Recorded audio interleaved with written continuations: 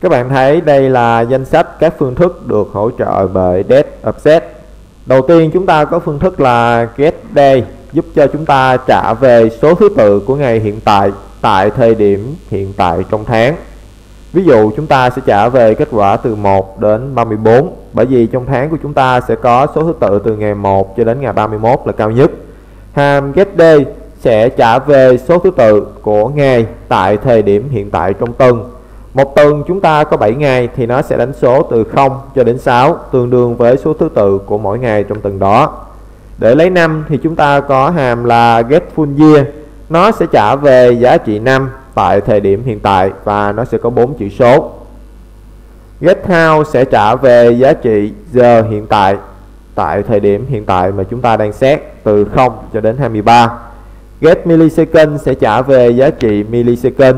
Get minute sẽ trả về giá trị phút. Get month sẽ trả về giá trị tháng tại thời điểm hiện tại. Và ở đây các bạn thấy chúng ta có giá trị từ 0 đến 11. 0 sẽ tương đương với tháng 1 và 11 ở đây sẽ tương đương với tháng 12. Get second sẽ trả về giá trị giây tại thời điểm hiện tại. Còn hàm get time sẽ trả về số mili giây kể từ thời điểm ngày 1 tháng 1 năm 1970. Bây giờ tôi sẽ vào Remover. Chúng ta sẽ tạo ra một folder nữa. Đây là folder về method. Chúng ta sẽ copy phần 01 này và tôi vào file 01. Tôi bắt đầu thao tác với phần date của chúng ta ví dụ chúng ta sẽ đặt ra trường hợp bây giờ chúng ta muốn lấy năm hiện tại thì chúng ta sẽ lấy như thế nào như vậy ở đây tôi sẽ khai báo như thế này và date bằng new date bây giờ chúng ta sẽ in ra năm hiện tại. Document chấm write. Ở đây sẽ là 5 và ở đây chúng ta sẽ cộng với d chấm. Để lấy 5 thì chúng ta sẽ dùng hàm get full year. Và chúng ta sẽ bổ sung thêm ký tự enter để nó xuống dòng. Ở đây tôi sẽ khai báo enter. Sẽ bằng ký tự br và chúng ta sẽ thử review ví dụ 01 của phần method này. Các bạn thấy năm của chúng ta là 2013 chính xác. Ở đây chúng ta sẽ định dạng lại cho nó dễ nhìn một tí. Ở đây chúng ta nên tạo ra một phần khoảng cách và chúng ta bị phép lại. Các bạn thấy như vậy thì chúng ta sẽ dễ nhìn hơn. Tuy nhiên ở đây chúng ta sẽ thử thay đổi cách hiển thị một tí. Ví dụ tôi sẽ không cho nó hiển thị như thế này, mà tôi sẽ có một thẻ disk với ID là result chẳng hạn, và chúng ta sẽ xuất kết quả vô ID này. Tôi sẽ đóng lại. Và chúng ta cần tạo ra một phần style để chúng ta định dạng cho thẻ list này luôn. Style type bằng, test, setup. Chúng ta biết rằng chúng ta không cần truyền các phần type vào phần style cũng như là phần grip tuy nhiên, tôi khuyên các bạn là chúng ta nên viết đầy đủ như thế này bây giờ chúng ta sẽ bắt đầu định dạng cho phần result. Id thì bắt đầu bằng dấu thăng. Result. Margin chúng ta sẽ cho cách top là 20 pixel và auto left right. Ở đây chúng ta bổ sung cho nó phần hay và phần width luôn. Phần hay khoảng là 300 pixel. Phần width chúng ta cho nó khoảng là 600 pixel và chúng ta tạo ra cho nó một phần border. Border 2 pixel, solid, và chúng ta sẽ đưa vào mã màu cho nó. Bây giờ chúng ta sẽ thử refresh lại. Các bạn thấy chúng ta đã tạo ra được một vùng. Bây giờ tôi muốn đưa những nội dung này vào trong vùng của thẻ disk chúng ta sẽ thực hiện như sau. Ở đây chúng ta sẽ dùng là document chấm get element by id và chúng ta truyền vào id mà chúng ta muốn lấy. Đó là vì sao? Tiếp theo là inner html và chúng ta sẽ gán nó bằng một giá trị nào đó, ví dụ là abc sau đó chúng ta refresh lại xem nó đã hiển thị chưa. Các bạn thấy nó chưa hiển thị vào đây. Tôi bật cửa sổ embed element lên. Thì ở đây chúng ta nhận được một thông báo lỗi, đó là không thể set property inner html of null được như vậy chúng ta sẽ thay đổi một tí. Ví dụ chúng ta sẽ có một phần input. Khi chúng ta click vào input này thì nó mới đổ dữ liệu vào cho phần thẻ disk của chúng ta. Như vậy ở đây tôi sẽ có là input. Thay của chúng ta lúc này sẽ là button thay bằng button và khi click vào thì chúng ta có sự kiện là on list. On list nó sẽ gọi đến hàm show result, đó là hiển thị kết quả. Và ở đây chúng ta có value cho nó. Ví dụ là show result luôn. Hiển thị kết quả. Và chúng ta sẽ đóng phần input này lại. Như vậy chúng ta sẽ viết hàm show result như sau. Function show result. Thì chúng ta sẽ document, get element by id result, và gán nó bằng giá trị abc tôi bị phép lại. Chúng ta sẽ lít vào show result các bạn thấy giá trị abc đã hiển thị. Như vậy bây giờ khi tôi lít vào show result thì tôi sẽ đưa giá trị này vào phần thẻ disk của chúng ta. Như vậy ở đây chúng ta sẽ gán một biến là result. Và result. Tạm thời chúng ta sẽ không giá trị, gán giá trị mặc định cho nó. Phía dưới này result. Sẽ bằng 5 cộng với d result và ký tự enter. Rồi, chúng ta sẽ xóa những phần ở trên. Phần style này chúng ta đem lên đầu luôn. Bởi vì chúng ta sẽ không cần quan tâm đến nó nữa mà chúng ta sẽ tập trung vào phần JavaScript tôi reset lại. So result. ABC ở đây chúng ta chưa đổi. Khi mà chúng ta lít vào thì kết quả sẽ là result và chúng ta reset lại. Click vào result năm 2013 chính xác. Ở đây chúng ta nên tạo ra một phần backend cho nó để nó cách các phần đường viền ở ngoài. Như vậy tôi sẽ bổ sung giá trị backend ở đây.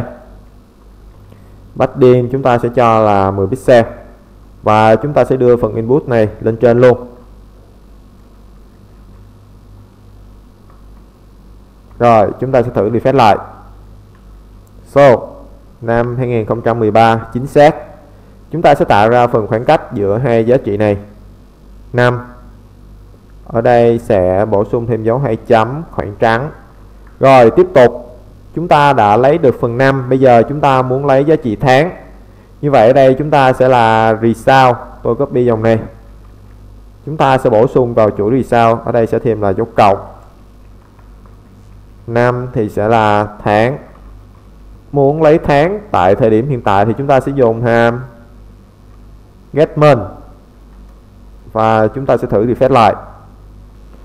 Chúng ta sẽ click vào show thì sao? Các bạn thấy năm 2013 và tháng hiện tại là tháng 2 ở đây chúng ta lưu ý, kết quả xuất hiện tháng là 2 Tuy nhiên, chúng ta biết rằng tháng nó sẽ được đánh dấu từ 0 cho đến 11 Như vậy 0 sẽ tương đương với tháng 1 1 sẽ tương đương với tháng 2 còn 2 sẽ tương đương với tháng 3 Như vậy ở đây để cho người dùng họ biết rõ là tháng mấy Thì chúng ta có một thủ thuật như sau. Chúng ta đơn giản là D, get Chúng ta sẽ cộng thêm một nữa. Và tôi refresh. Vì sao? Các bạn thấy tháng của chúng ta nó ra là 21 bởi vì chúng ta cộng hai chuỗi với nhau. Trong trường hợp này, chúng ta sẽ cần đưa hàm getMon về đối tượng number và chúng ta mới cộng vào cho nó thêm một giá trị nữa như vậy ở đây chúng ta cần chuyển phần getMin này về số, sau đó chúng ta cộng thêm một. Ở đây các bạn có thể sử dụng hàm bạc, in. Nó sẽ giúp cho chúng ta chuyển một chuỗi thành một số. Sau khi giá trị này thì chúng ta sẽ cộng thêm cho nó là một và chúng ta sẽ thử refresh lại. So thì sao? Các bạn thấy vẫn là 21 chúng ta sẽ thử kiểm tra. Bạc in d của getMin tôi sẽ đưa cộng 1 vào trong luôn. Và tôi refresh nó đã ra cho chúng ta đó là kết quả là tháng 3 như vậy chúng ta đã lấy được 5 tháng. Bây giờ chúng ta tiếp tục lấy ngày. Ở đây nếu mà chúng ta muốn bổ sung vào cho nó ulli để nó hiển thị đẹp thì chúng ta sẽ phải thực hiện như thế nào? Như vậy, ở đây chúng ta sẽ bổ sung luôn. Vì sao? Như vậy ở trên này chúng ta sẽ gán giá trị mặc định cho nó. Đầu tiên vì sao sẽ bằng OL tiếp theo ở đây sẽ là result cộng bằng và cuối cùng result sẽ cộng bằng UL tuy nhiên ở đây sẽ là thẻ đóng của UL cộng bằng UL và đây là đóng. Ở đây sẽ là các thẻ LI tiếp tục, trong đây cũng là LI còn kết thúc mỗi câu sẽ có thẻ LI đóng. Copy phần này cho phần enter phía dưới chúng ta sẽ bổ sung thêm dấu cộng. Và chúng ta sẽ thử refresh so thì sao? Các bạn thấy năm tháng như vậy chúng ta đã định dạng được cho phần hiển thị này. Tiếp theo là chúng ta sẽ lấy giá trị ngày tôi sẽ copy phần này xuống một dòng nữa. Ở đây sẽ là ngày. Đối về phần lấy ngày thì chúng ta có nhiều cách để chúng ta lấy d chấm get. Các bạn thấy là chúng ta có thể sử dụng hàm get day nó sẽ trả về số thứ tự của ngày hiện tại tại thời điểm trong tháng. Tôi sẽ sử dụng hàm get day trước.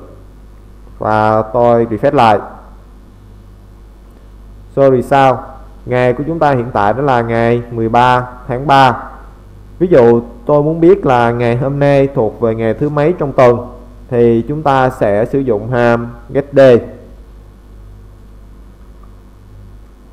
ở đây sẽ là ngày trong tháng. Phía dưới này sẽ là ngày trong tuần. Ở đây sẽ là get day.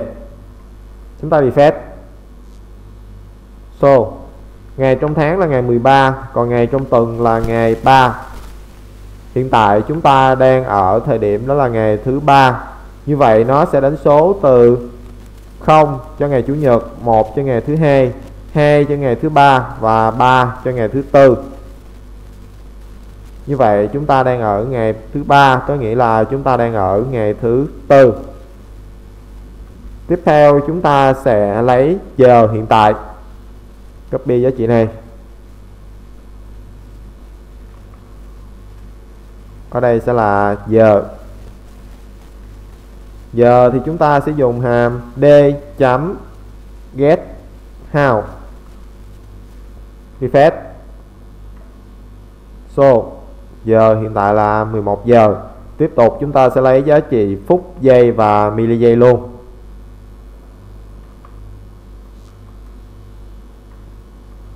Giờ tiếp theo là phút theo là giây. Tiếp theo là mili giây. Mili giây. Phút thì chúng ta sẽ dùng hàm get minute.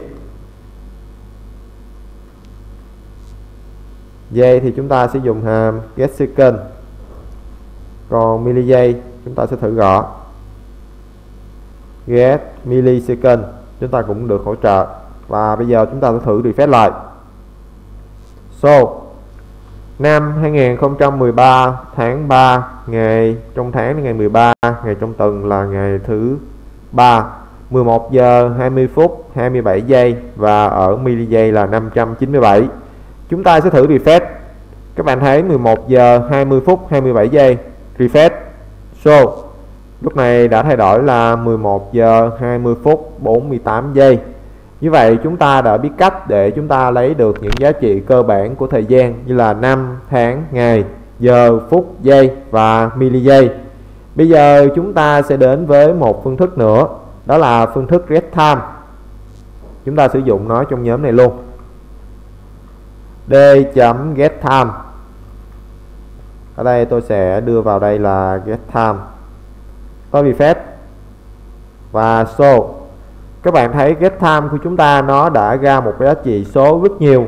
Giá trị số này chính là khoảng cách mili giây tính từ thời điểm hiện tại so với ngày 1 tháng 1 năm 1970 như vậy, chúng ta đã đi qua các hàm của Light đầu tiên đó là các hàm về lấy thời gian hay là tại máy tính của người sử dụng chúng ta sẽ đi đến phần slide tiếp theo Phần line này sẽ giúp cho chúng ta lấy được những giá trị thời gian chuẩn. Đây là hay là chúng ta còn gọi là thời gian quốc tế, nó viết tắt của chữ UTC.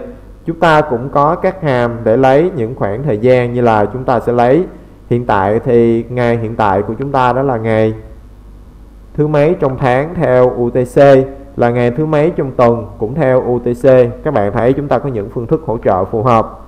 Get UTC how sẽ trả về giá trị giờ theo UTC còn get UTC millisecond, nó sẽ trả về giá trị là millisecond. Thời gian hiện tại của chúng ta hay là thời gian hiện tại ở Việt Nam, nó sẽ chênh lệch so với giờ quốc tế, đó là 7 giờ, có nghĩa là 420 phút ở đây các bạn có thể tham khảo thêm về những phương thức này để lấy những giá trị của giờ quốc tế. Ở đây chúng ta có một hàm, đó là hàm so sánh hay là trả về số phút chênh lệch giữa thời gian quốc tế và thời gian tại máy người dùng. Đó là get time zone offset chúng ta sẽ thử hàm này. Chúng ta sẽ xuống một dòng nữa. Ở đây tôi sẽ thay đổi thành là get time zone offset chúng ta đưa vào tên hàm ở đây. Và tôi refresh lại. So, các bạn thấy nó trở về là âm 420 có nghĩa là chúng ta đã lệch đi 420 phút so với giờ quốc tế. Qua những highlight đầu tiên, chúng ta đã tìm hiểu được các phương thức để chúng ta lấy được những giá trị thời gian tại máy tính cá nhân, cũng như là lấy được những khoảng thời gian của giờ chuẩn quốc tế trong những nội dung sau, chúng ta sẽ tìm hiểu thêm một số phương thức được hỗ trợ bởi đối tượng DEX trong JavaScript